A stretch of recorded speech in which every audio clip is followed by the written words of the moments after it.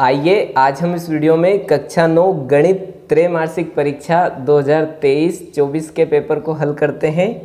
देखिए, यहाँ पर पूर्णांक अब की बार पचहत्तर हैं, समय तीन घंटे हैं, पेपर आप देख पा रहे होंगे। तो आपका पहला क्वेश्चन है, सही विकल्प चुनकर लिखिए। देखिए, यहाँ पर पहला भाग है, सात सौ उनतीस की घात एक बटा तीन का मान है। तो देखिए, इसको सोल्व कर लेते हैं अपन रफ में। यहाँ पर सात सौ उनतीस को जब आप नौ से डिवाइड करोगे ना तो नौ अठी बहत्तर, नौ एकम नौ, है ना? फिर नौ से देंगे नवे नवे इक्यासी, फिर नौ से नौ एकम नौ। तो देखिए, नौ की घात कितनी है यहाँ पर? नौ कितनी बार हैं? तीन बार, है ना? यानी कि नाइन की पावर थ्री है। और यहाँ पर सात सौ उनतीस की पावर है वन अपॉन थ्री तो इसको अपन लिख सकते हैं, सात सौ उनतीस को नौ गुणित नौ गुणित नौ, तीन बार, है ना? और यहाँ पर घात वन अपॉन थ्री है ना? इसी को अपन ने तोड़ा है। अब यहाँ पर नौ की घात, नौ की घात अपन क्या लिख सकते हैं? तीन लिख सकते हैं, क्योंकि नौ तीन बार है ना? और यहाँ पर है वन अपॉन थ्री। तो घातांक के नियम से घातों का गुणा हो जाएगा, है ना? तो ये थ्री से थ्री कैंसिल हो जाएगा। तो यहाँ पर आंसर आ जाएगा नाइन की पावर वन, यानी कि नाइन करेक्ट आंसर है। तो आपका बी वाला बिल्कुल सही रहेगा इसमें। फिर दूसरा है, निम्न में से एक अक्ष में स्थित एक बिंदु है। देखिए, एक अक्ष में स्थित हैं तो उसका वाय निर्देशांक क्या होगा? ज़ीरो होगा। तो देखिए, एक्स निर्देशांक होगा, लेकिन वाई निर्देशांक क्या होगा? ज़ीरो। इसलिए बी वाला इसमें सही है। फिर थर्ड वाला है आपका, एक परिमेय तथा एक अपरिमेय संख्या का योगफल या अंतर। एक संख्या होगी। तो देखिए, कोई भी एक परिमेय ले लें अपन और एक अपरिमेय संख्या ले लें। या तो इनको जोड़ें या घटाएँ। तो संख्या भी क्या होगी? अपरिमेय। तो इसमें बी वाला सही है, अपरिमेय संख्या। फिर एक घनाभ में कितने फलक होते हैं? देखिए, यहाँ पर घनाभ बोला है है ना? तो आप छः लगाइएगा, है ना? छः आयताकार फलक होते हैं। फिर यहाँ पर चार बटे पाँच कामा एक बटे पाँच का योग होगा। तो देखिए, बहुत ही आसान है। भिन्नों का योग देखिए, यहाँ पर हर समान है है ना? तो अपन यहाँ पर एक बार एल्शियम लेंगे तो पाँच आएगा। ऊपर वाले ऐसे कैसे ऐड हो जाएँगे? तो पाँच बटे पाँच यानी कि पाँच एकम पाँच। तो एक इसका करेक्ट आंसर रहेगा, है ना? फिर यहाँ पर आप देख पा रहे हैं, छठे में 28 गुणित इक्कीस। अब 28 और 21 का मल्टीप्लाई कर लीजिए आप। तो देखिए, आठ एकम आठ, दो एकम दो। फिर दो अठी सोलह की छः आए एक, दो दून चार और एक, पाँच। तो आठ आठ, पाँच। अब यहाँ पर ऐसी संख्या लिखिए कि इधर भी इक्वल आना चाहिए, यानी कि यही संख्या इधर गुणा करने पर आना चाहिए। तो देखिए, जब आप 16 से गुणा करोगे तो बयालीस है इधर तो ज़्यादा हो जाएगा 21 से तो और ज़्यादा, अट्ठाईस से और ज़्यादा, चौदह से करेक्ट हो जाएगा ना? मेरे हिसाब से तो मैं एक बार फिर भी कंफर्म करने के लिए चौदह से मल्टीप्लाई करके देख लेता हूँ, चार दुनिया आठ, चार चौक सोलह, फिर दो एकम दो, चार एकम चार तो आठ आठ, पाँच। देखिए, आ रहा है करेक्ट, इसलिए यहाँ पर आप चौदह लिख सकते हैं या फिर डी वाला करेक्ट है, ठीक है? आगे बढ़ते हैं। अब देखिए, दूसरा क्वेश्चन है, रिक्त स्थानों की पूर्ति कीजिए। यहाँ पर पहला भाग है, शून्य बहुपद की घात। तो ध्यान रखिएगा, हमेशा ज़ीरो होती हैं या फिर आप यहाँ पर शून्य लिख सकते हैं। फिर दो पाई एक संख्या है। तो देखिए, यहाँ पर पाई से मल्टीप्लाई हो रहा है, इसलिए अपरिमेय संख्या लिखेंगे अपन, अपरिमेय संख्या, है ना? अपरिमेय संख्या है। फिर ए की पावर ज़ीरो का मान, हमेशा ध्यान रखिएगा, एक होता है। किसी की भी पावर यदि ज़ीरो हो तो उसका मान एक होता है ना? ये आप याद रखिएगा। फिर बहुपद पी एक्स बराबर दो एक्स प्लस पाँच का शून्य है। तो शून्य निकालना यानी कि पी एक्स के बराबर में क्या रखना है? ज़ीरो तो यहाँ पर आप ज़ीरो रख दीजिए। Two x plus five equal to zero तो ये फाइव को इधर लेंगे अपन। तो two x equal to minus five है ना? इधर प्लस है, उधर जाके माइनस हो जाएगा। तो टू एक्स यहाँ पर टू को अपन अपॉन में लेंगे डिवाइड करेंगे तो ये आ जाएगा माइनस फाइव बाई टू है ना? तो यहाँ पर आप याद रखिएगा, बहुपद पी एक्स बराबर दो एक्स प्लस पाँच का शून्य का आ जाएगा आपका माइनस पाँच बटे दो, है ना? ये जो गुणे में रहती है संख्या, ये भाग में चली जाती है।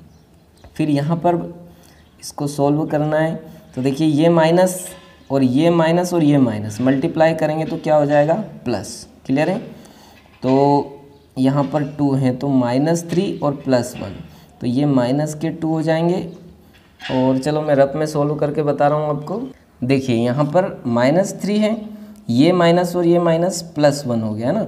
और प्लस फोर और माइनस टू इक्वल टू अब देखिए थ्री में से अपन प्लस वन कम करेंगे तो यहाँ पर बचेगा आपका minus two plus four minus two equal to तो देखिए, यहाँ पर ये टू और ये टू दोनों ही माइनस हैं, इसलिए माइनस माइनस जुड़ता है।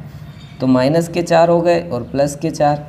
तो देखिए, माइनस चार प्लस चार क्या आ जाएगा? ज़ीरो। तो इसका आंसर आ जाएगा आपका ज़ीरो। ध्यान रखिएगा ना, क्योंकि ये पूर्णांक वाले सवाल है, बहुत ही सावधानी से कीजिएगा आप, ये माइनस माइनस प्लस हो जाएगा। तो थ्री में से आप वन माइनस करोगे तो ये माइनस टू आएगा। और ये भी माइनस टू तो जुड़ेगा। तो ये माइनस फोर हो जाएगा और ये प्लस फोर, इसलिए ज़ीरो।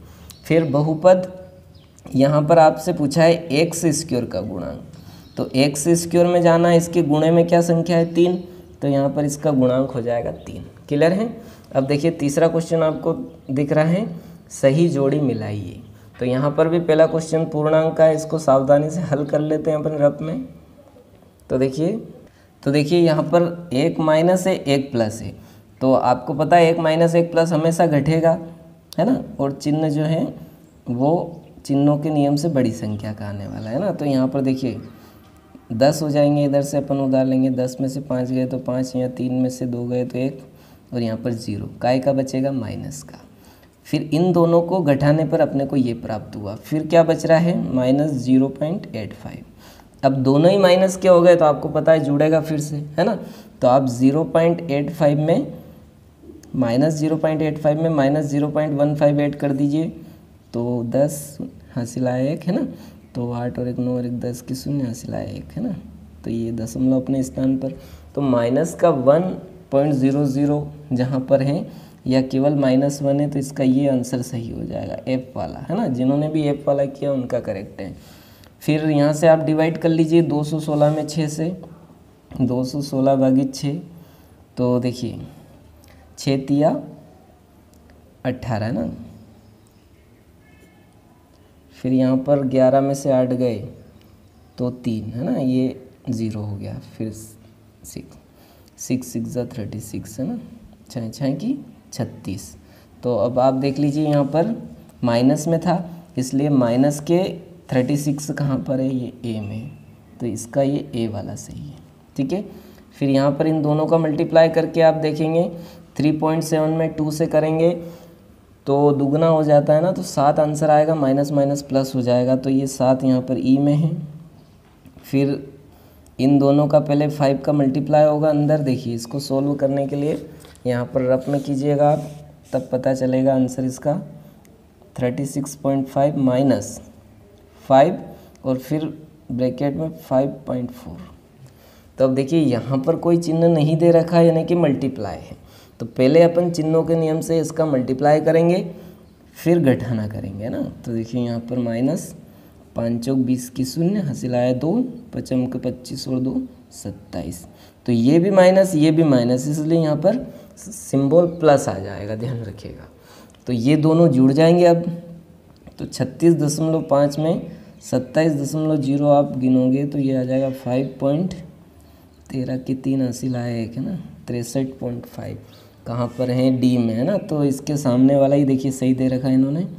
बिल्कुल यहाँ पर करेक्ट हो जाएगा। फिर फोर पॉइंट फाइव इसको डिवाइड करके देख लीजिए आप, है ना? तो फाइव और फोर तो चार एक कम चार, है ना? फिर एक बचेगा। तो दशमलव लगाएँगे, ज़ीरो बढ़ाएँगे, चार दुनिया आठ, दो बचेगा, चारा पंजे बीस हो जाएगा, ठीक है? तो वन पॉइंट टू फाइव ये सी वाले में से ये तो 1.25 ये यहाँ लगा दीजिएगा आप। फिर लास्ट जो बचा, उसको तो आप मिला ही लोगे ना। तो ये यहाँ से लगाकर बी वाले को मिला लेना। क्लियर है? अब आगे बढ़ते हैं अपन, प्रश्न क्रमांक चार। यहाँ पर दे रखा है एक वाक्य या शब्द में उत्तर लिखिए ना। तो देखिए, पहला है, रेखिक बहुपद में कितने शून्यक होते हैं? अब रेखिक का अर्थ होता है घात एक तो घात एक है तो शून्यक भी उसके कितने होंगे? एक होंगे, है ना? तो एक शून्यक होगा फिर सात बटे आठ का दशमलव प्रसार किस प्रकार का है तो आप डिवाइड करके देख लीजिए। तो देखिए, यहाँ पर अपन डिवाइड करते हैं। भाग नहीं जाए जिसकी शून्य दशमलव लगाओ, ज़ीरो बढ़ाओ, है ना? तो सात अठी छप्पन, है ना? छप्पन और आठ अंटी चौंसठ, है ना? आठ बार जाएगा ये। तो ये हो जाएगा इधर दस, फिर छः बचेगा ना? फिर दशमलव लगा रखी, ज़ीरो बढ़ा लो। फिर आठी साथी छप्पन। कितना बचा? चार बचा, है ना? फिर दशमलव लगा रखी, इसलिए ज़ीरो बढ़ा लेंगे अपन। तो आटा पंजे चालीस। तो देखिए, यहाँ पर पूरा डिवाइड हो गया। तो दशमलव प्रसार कैसा बोलेंगे अपन? शांत हैं। किस प्रकार का है? तो दशमलव प्रकार दशमलव प्रसार शांत है है ना? फिर ऐसा बहुपद क्या कहलाता है जिसके सभी गुणांक ज़ीरो हों? तो सभी गुणांक ज़ीरो हो तो शून्य बहुपद ही कहलाएगा ना? शून्य बहुपद। बहुपद, ठीक है?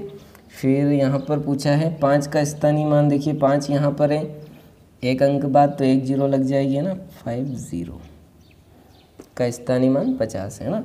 फिर मैं शेषफल का मान क्या होगा? तो बहुत ही आसान है, आप इसको डिवाइड करेंगे जब fifty nine divided by six है ना? तो छः नब्बे की चौपन होता है ना तो कितने बचेंगे? नौ में से चार कम करो आप तो पाँच बचेंगे ना, ज़ीरो। तो यहाँ पर सेसफल क्या बच रहा है? पाँच बच रहा है ना तो सेसफल का मान क्या होगा? तो पाँच होगा, है ना? फिर एक और दो के बीच एक परिमेय संख्या लिखिए।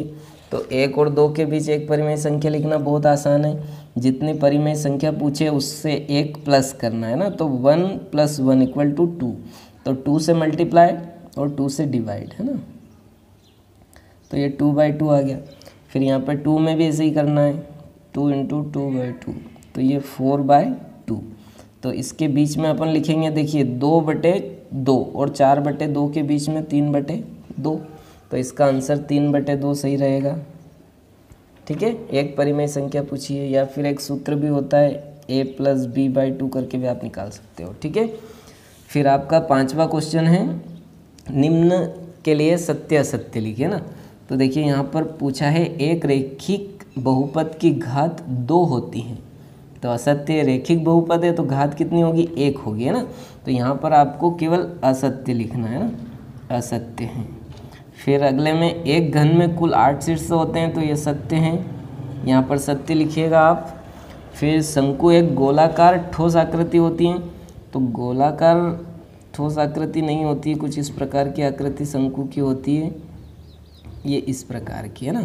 तो इसलिए अपन इसको असत्य कहेंगे। फिर सड़क बनाने में प्रयुक्त रोलर का पहिया एक बेलनाकार आकृति होती है तो ये बिल्कुल सत्य आपने भी देखा होगा। फिर प्रत्येक बहुपद एक द्विपद होता है। अब ये तो असत्य है, क्योंकि नाम ही क्या है? बहुपद, यानी बहुत सारे पद हो सकते हैं, इसलिए असत्य है। है ना? द्विपद भी होता है, त्रिपद भी होता है ना? चतुर्थपदी भी होता है। फिर माइनस पाँच माइनस दो से छोटी, सत्य है बिल्कुल माइनस पाँच जो है माइनस दो से छोटी, क्योंकि माइनस में जितनी बड़ी संख्या होती है, वो उतनी ही छोटी होती है ना? फिर संख्या रेखा पर अपन ने देखा, किंतु आठ से बड़ी हैं माइनस आठ से बड़ी हैं, बिल्कुल सही है। तो यहाँ पर अपन सत्य कर देंगे इसको। ठीक है? तो इस प्रकार से ये सत्य असत्य थे आपके। बाकी तो आप सबको सोल्व करना आसानी से आया होगा। मैंने तीन अध्याय आपको अच्छे से हल करवा दिए थे और साथ ही ब्रिज कोर्स भी पूरा हल करवा दिया था। फिर भी मैं लिंक यहाँ पर आपके डिस्क्रिप्शन बॉक्स में भी दे रहा हूँ एंड स्क्रीन पर भी दे रहा हूँ तो आप वहाँ से इनको चेक कर सकते हैं। ये आपके अध्याय दो का क्वेश्चन है। ये आपका सातवां क्वेश्चन है ना? उदाहरण से लिया गया अध्याय एक से सारे मैंने हल करवाए आपका नौवा क्वेश्चन भी हल करवाया हुआ है। फिर दसवा क्वेश्चन आपके ब्रिज कोर्स से हैं? इन सभी क्वेश्चन की क्वेश्चन के आंसर के लिए मैं डिस्क्रिप्शन बॉक्स में लिंक दे रहा हूँ। आप वहाँ पर जाकर हमारे ब्रिज कोर्स को चेक कर सकते हैं। साथ ही अध्याय एक से तीन तक की भी लिंक दे रहा हूँ। तो वहाँ जाकर भी आप चेक कर सकते हैं। देखिए आपका सोलह क्वेश्चन हर का परिमयकरण वेरी मोस्ट मैंने लगवाया हुआ है।